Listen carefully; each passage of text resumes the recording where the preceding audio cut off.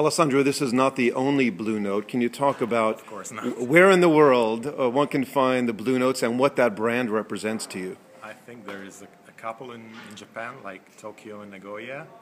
Uh, we are the only one in, in Europe. And there's another one I can't remember. Oh, of course, the Blue Note New York. Uh, yeah, I mean, the, the, the brand is, is, is a, of course, a brand of quality and you know tradition.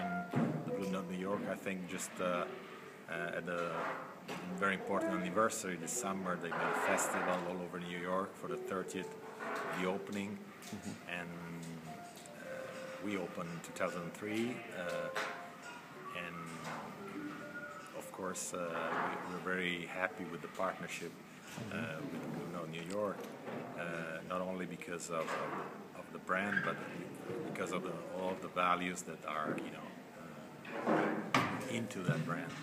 And of course, we have the chance through them to, to have a special partnership with all the artists uh, that have, you know, a long uh, legacy with, uh, with them and now with, with us because, you know, we're a club, so we, we're open to new acts every day, but we also have a lot of acts uh, that uh, we're lucky to have here, you know, every year, every time they come back, they're happy with that, and, and people love them, uh, and that's the way it should be for, for, for a club, you know.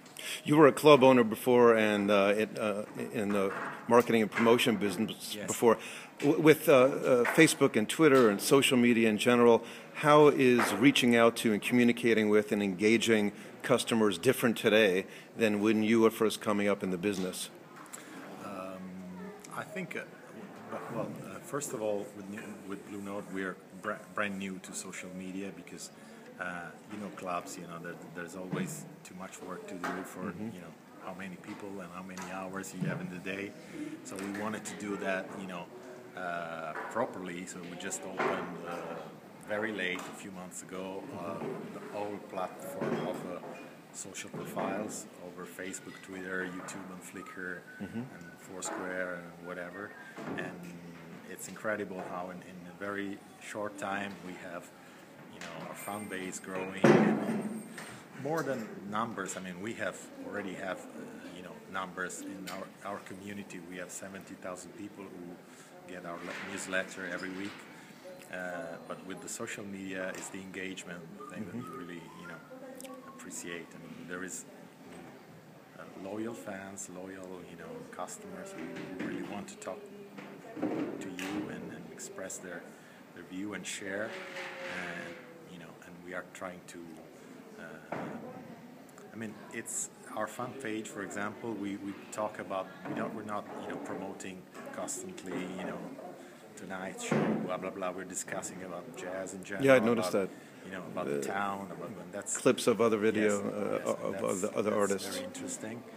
Um, of course, uh, I mean, the more we can have uh, content to share and experience to share, Mm-hmm. also on the internet, not only uh, live, the more this will, will grow and will be a different way to, to reach our, you know, fans, our friends. over. So speaking of uh, real-time content to share, when we first spoke just weeks ago, you were immediately enthusiastic and got the, Oh, yes. the potential of li- live streaming. What does live streaming represent to you as a potential for yourself, for the artists, and for the fans? Well, the thing that really uh, I was thinking when you, when you you know when we met is that uh, for maybe the past 20 years there's, there's been a lot of discussion, uh, a lot of uh, business models, a lot of you know uh, things changing and happening uh, in the relationship between internet and the music, but that is you know 100% uh, about the the music industry and the recorded music. Uh, live music is totally, you know, 100% offline, and there's really nothing happening on the internet that regards live music. And I think that's, you know, it's going to change because, of course, uh, you'll never substitute the, the, the real experience of, you know, being here tonight at the Blue Note but uh, it's so great that you can share, you know, what's happening and the content you are enjoying with, you know, everybody all over the world, and it's so stupid that this is not happening. That I mean, I believe we are going to do something which will be very uh, interesting, both for us, for the for the artist, and especially for for the fans all over the world. And I, I'm, I'm sure that someone in Japan will enjoy, you know, Billy Cobham show uh, at the Blue Note Milano.